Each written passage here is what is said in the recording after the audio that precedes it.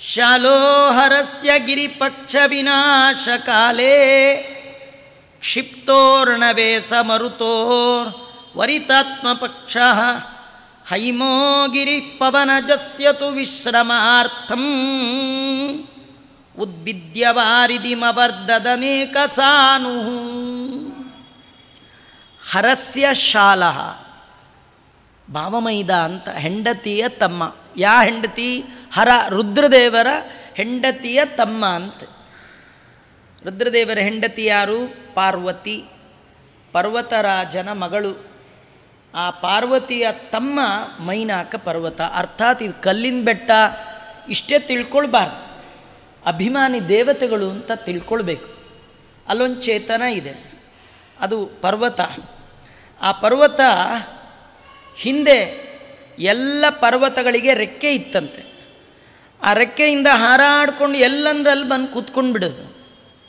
ದೇವತೆಗಳ ಪ್ರಾರ್ಥನೆಗೆ ಓಗೊಟ್ಟ ಇಂದ್ರದೇವರು ತಮ್ಮ ವಜ್ರಾಯುಧದಿಂದ ಎಲ್ಲ ಪರ್ವತದ ರೆಕ್ಕೆಗಳನ್ನು ಕತ್ತರಿಸ್ತಿದ್ರಂತೆ. ಆ ಸಂದರ್ಭದಲ್ಲಿ ಮೇರು ಪರ್ವತದ ಮರಿ ಪರ್ವತವಾದ ಈ ಮೈನಾಕ ಪರ್ವತ ವಾಯುದೇವರಲ್ಲಿ ಶರಣು ಬಂತಂತೆ. ನನಗೆ ಅನುಗ್ರಹ ಮಾಡಬೇಕು ನೀವು ಅಂತ. ಕಾರುಣ್ಯ ದೇವರು, ಕಾರುಣ್ಯದಿಂದ ವಾಯುದೇವರು ಆ ಪರ್ವತವನ್ನು ಯಾರಿಗೂ ಕಾಣದ ಹಾಗೆ ತಂದು ಈ ಸಮುದ್ರದ ಒಳಗೆ ಮುಚ್ಚಿಟ್ಟಿದ್ರಂತೆ. ಹೀಗಾಗಿ ಎಲ್ಲ ಪರ್ವತಗಳು ರೆಕ್ಕೆಯನ್ನು ಕಳೆದುಕೊಂಡರೂ. ಈ ಒಂದು ಪರ್ವತ ಮಾತ್ರ ತನ್ನ ರೆಕ್ಕೆಯನ್ನು ತಾನು ರಕ್ಷಣೆ ಮಾಡಿಕೊಂಡಿತು ಹೇಗೆ? ವಾಯುದೇವರಿಗೆ ಶರಣು ಹೋಗಿ. ವಾಯುದೇವರಿಗೆ ಶರಣು ಹೋದ ಕಾರಣ ಎಲ್ಲ ಪರ್ವತಗಳು ಕಳೆದುಕೊಂಡ ಹಾಗೆ ರೆಕ್ಕೆಯನ್ನು ಈ ಪರ್ವತ ಕಳ್ಕೊಳ್ಳಿಲ್ಲ. ನಮಗೊಂದು ಸಂದೇಶ ಇದೆ. ಈ ಕಥೆ ಒಳಗೆ ನಮಗೊಂದು ಕಥೆ ಇದೆ. ನಾವು ದ್ವಿಜರು ದ್ವೇ ಜಾಯತೆ ಎರಡು ಬಾರಿ ಹುಟ್ಟುವವರು. ಸಂಸ್ಕೃತದಲ್ಲಿ ದ್ವಿಜ ಅಂದರೆ ಹಕ್ಕಿ. ಹಾರುವ ಪಕ್ಷಿಗೂ ದ್ವಿಜ ಅಂತ ಕರೀತಾರೆ. ಯಾಕೆ? ಹೊಟ್ಟೆಯಿಂದ ಒಮ್ಮೆ, ಮೊಟ್ಟೆಯಿಂದ ಮತ್ತೊಮ್ಮೆ. ಅಲ್ವಾ? ಹಾಗಾಗಿ ಎರಡು ಬಾರಿ ಹುಟ್ಟತ್ತದು. ನಾವು ಅಷ್ಟೇ, ಅಮ್ಮನ ಹೊಟ್ಟೆಯಿಂದ ಒಮ್ಮೆ, ಇನ್ನೊಮ್ಮೆ ವೇದ ಮಾತಾತು ಗಾಯತ್ರಿ ಗಾಯತ್ರಿ ವೇದ ಮಾತೆಯ ಹೊಟ್ಟೆಯಿಂದ ಮತ್ತೊಮ್ಮೆ. ಹಕ್ಕಿಗೆ ರೆಕ್ಕೆಯಂತೆ ಬ್ರಾಹ್ಮಣರಿಗೂ ಎರಡು ರೆಕ್ಕೆ ಇದೆ. ಆದರೆ ರೆಕ್ಕೆನ ಮರ್ತೇ ಬಿಟ್ಟಿದ್ದೀವಿ. ಎಷ್ಟೋ ಹಕ್ಕಿಗಳಿಗೆ ರೆಕ್ಕೆ ಇದೆ, ಹಾರಲ್ಲ. ಕೋಳಿಗೆ ರೆಕ್ಕೆ ಇದೆ, ಹಾರಲ್ಲ. ಆದರೆ ಗಾಡಿ ಗಿಡಿ ಅಡ್ಡ ಬಂದರೆ ಮಾತ್ರ ಭರ್ರಂತ ಹಾರ್ಕೊಂಡು ಹೋಗ್ಬಿಡುತ್ತೆ. ನಾವು ಅಷ್ಟೇ, ಹಾರಲ್ಲ.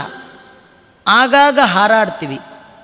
ಮಡಿ ಅಂತ ಇನ್ಯಾರ್ದು ಜೋಳ ಮಾಡುವಾಗ ಇದ್ದಕ್ಕಿದ್ದಾಗ ಅವರು, ಅಯ್ಯೋ, ಇದ್ದಕ್ಕಿದ್ದಾಗ ಹಾರಾಡೋಕ್ಕೆ ಶುರು ಮಾಡಿಬಿಟ್ರು ಅಂತಾರೆ. ಹಾರಾಡೋಕ್ಕೆ ಶುರು ಮಾಡಿಬಿಟ್ರು. ಹಳ್ಳಿ ಕಡೆ ಬ್ರಾಹ್ಮಣರಿಗೆ ಕರೆಯೋದೇ ಹಾರುವಯ್ಯ ಅಂತ. ನಿಜವಾಗಿ ಅವರು ಅಯ್ಯ, ಐನೂರು ಅಯ್ಯ. ಆಗಾಗ ಹಾರ್ತಾರಾದ ಕಾರಣ ಹಾರುವಯ್ಯ. ನಿಜವಾಗಿ ಹಾರುವವರು ನಾವು. ಭೂಲೋಕದಲ್ಲಿ ಹಾರಾಟ ಆಡಿದ್ರೆ ಭಗವಂತನ ಅನುಗ್ರಹಕ್ಕೆ ನಾವು ಪಾತ್ರರಾಗೋಲ್ಲ. ನಾವು ಹಾರಾಡಬೇಕಾದ್ದು ಭಗವಂತನ ಅನುಗ್ರಹದಿಂದ ವಿಷ್ಣು ಪದದಲ್ಲಿ, ಆಕಾಶದಲ್ಲಿ ಹಾರಾಡಬೇಕು. ನೀವು ಹಾರಾಡಬೇಕಂದ್ರೆ ಎರಡು ಬೇಕು. ಒಂದು ಹರಿ ಸರ್ವೋತ್ತಮ ಅನ್ನುವ ಜ್ಞಾನದ ರೆಕ್ಕೆ ಬೇಕು. ಇನ್ನೊಂದು ವಾಯುದೇವರು ಜೀವೋತ್ತಮರು ಅನ್ನುವ ರೆಕ್ಕೆ ಬೇಕು. ಜ್ಞಾನ ಭಕ್ತಿಯ ರೆಕ್ಕೆ ಬೇಕು. ಅಂದರೆ ಹಾರಾಡ್ಲಿಕ್ಕೆ ಸಾಧ್ಯ.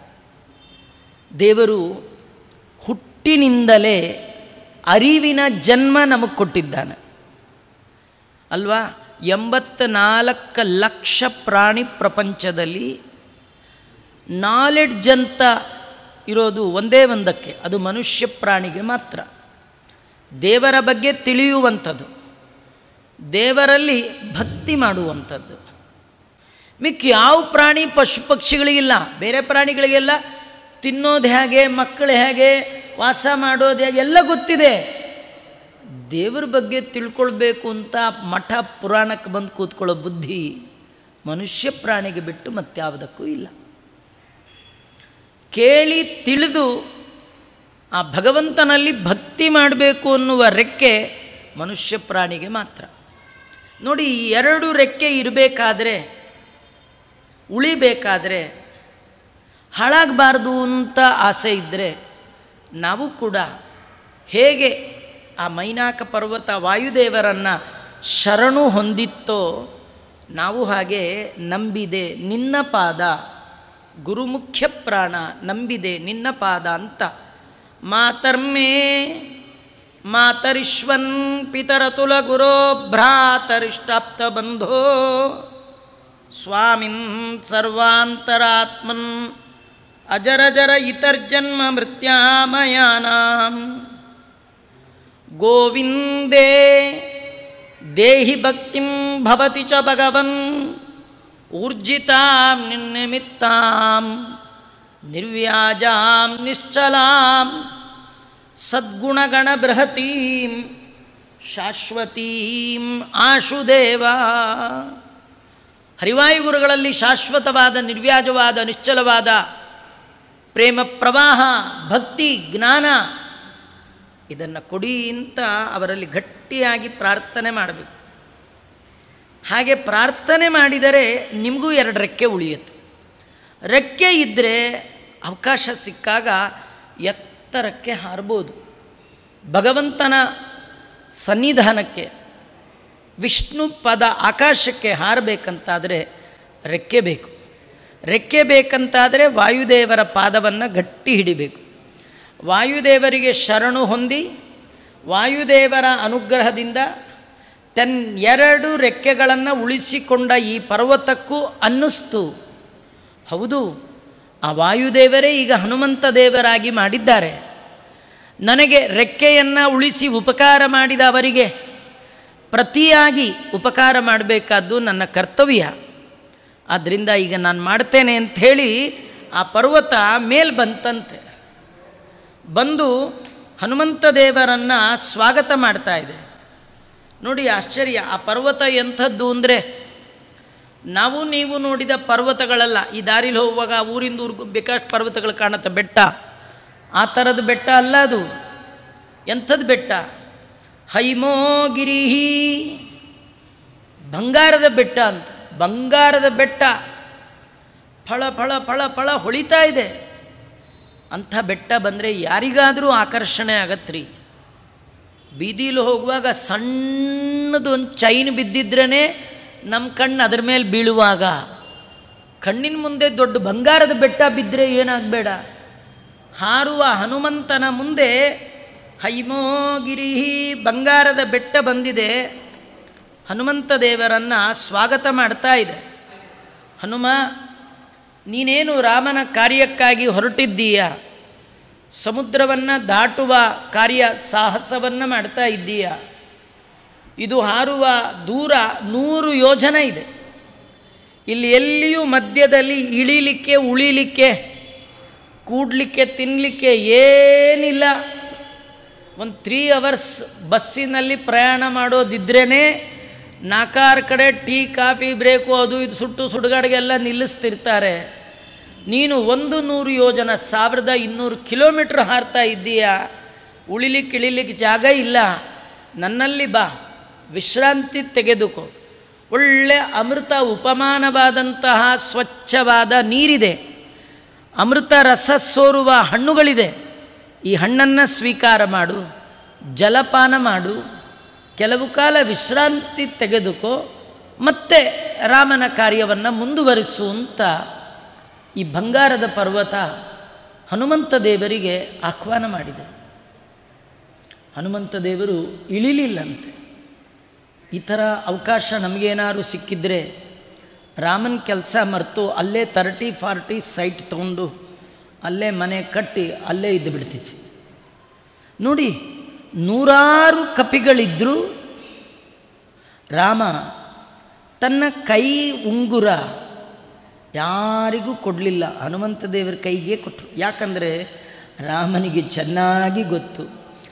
ಹಿಡಿದ ಕೆಲಸವನ್ನು ಬಿಡದೆ ಮಾಡುವ ಒಂದೇ ಜೀವ, ಅದು ಜೀವೋತ್ತಮರಾದ ವಾಯುದೇವರು.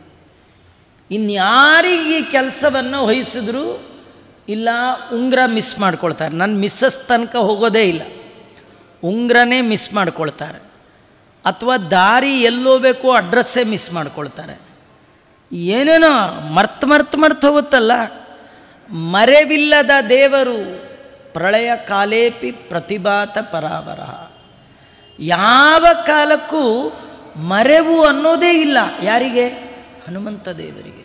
ಅದಕ್ಕೆ ಹನುಮಂತ ದೇವರ ಕೈ ಕೊಟ್ಟರು ಹನುಮಂತ ದೇವರಿಗೆ ವಿಶ್ರಾಂತಿಗೆ ಅವಕಾಶಕ್ಕಾಗಿ ಬಂಗಾರದ ಪರ್ವತ ಕರೆದರೆ ಹನುಮಂತ ದೇವರು ಬೇಡ ಅಂದ್ರ ನೈವಾತ್ರ ವಿಶ್ರಮಣ ಮೈಚ್ಛತ ವಿಶ್ರಮೋಸೌ.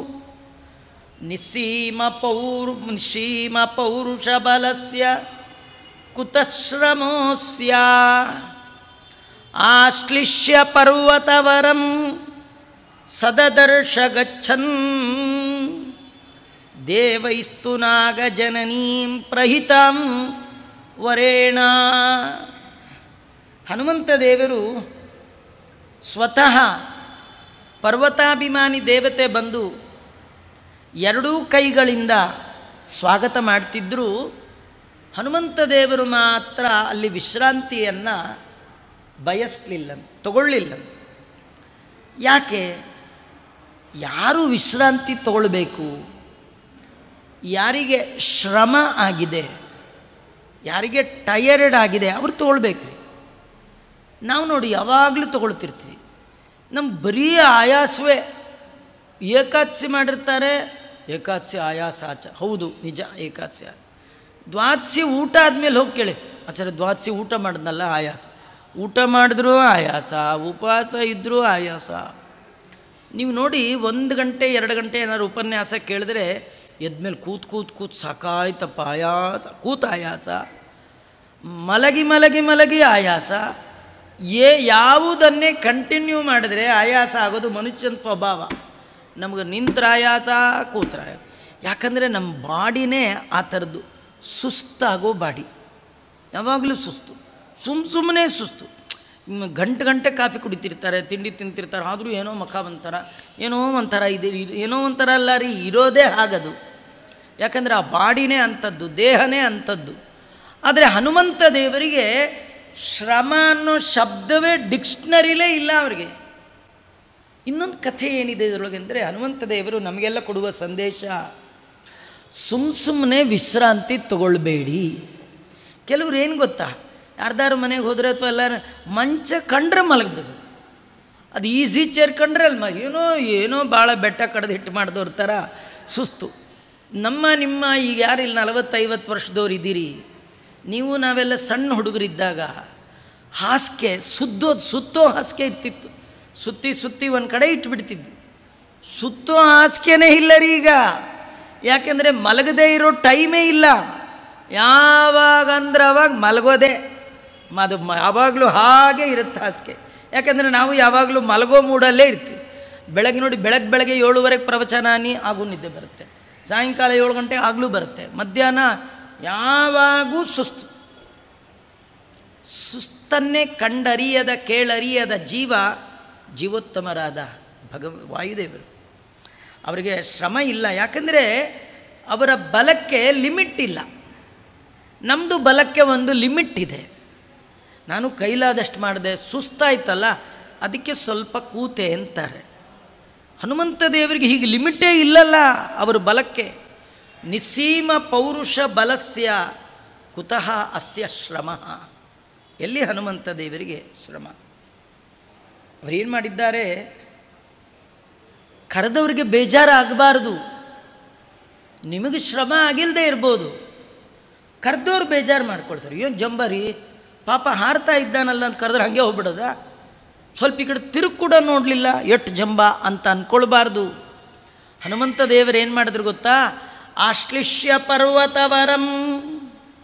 ಆ ಪರ್ವತವನ್ನು ಒಂದು ಕೈಯಲ್ಲಿ ತಬ್ಬಿಕೊಂಡು ಹಾರದ್ರಂತೆ.